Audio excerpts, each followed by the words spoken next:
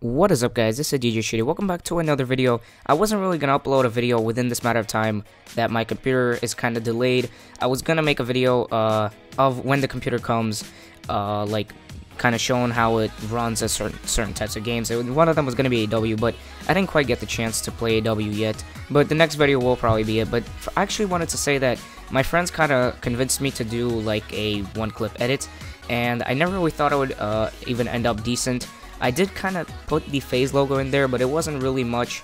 It's not, I, I know you guys might think that I'm a fanboy or something, but it's not really for that. I kind of did that just because, for the fun of it, really, and it ended up being kind of good. I don't know. So this is my first one clip edit, and uh, it's not supposed to be the best. You guys might like criticize me for it, but um, here you guys go, and hope you guys enjoy. Please leave a like if you, I guess, enjoyed it, and keep in mind this is my first edit, so it's not gonna be the best, but uh, working on it and hoping to do a little bit more. So here you guys go. Peace.